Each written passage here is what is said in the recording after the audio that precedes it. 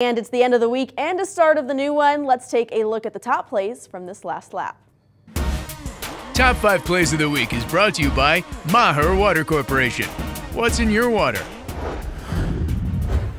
All right, Sunday Fun Day starting out with a short shot, Brandon Rickleff's goal for the Warriors. Then Stratford and East Tigers, Devin Ulrich drives inside, no foul, but still got the layup.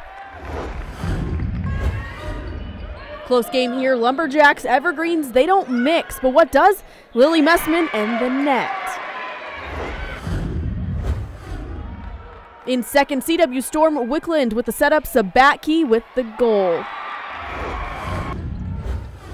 And in number one, Stouts, Brody Fox dunks on the pointers. Guys, that's your sports.